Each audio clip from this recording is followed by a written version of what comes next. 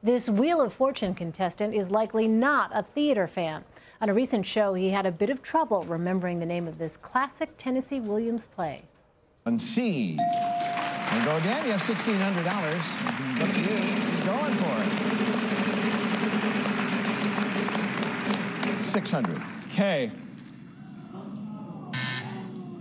No. Lisa.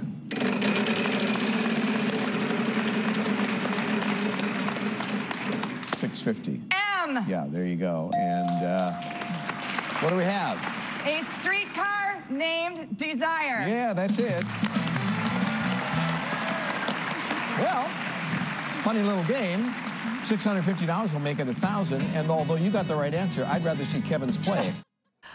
Oh, gosh. He said the K with such confidence, too. Well, it's too soon to tell if that one failing moment was also a defining one.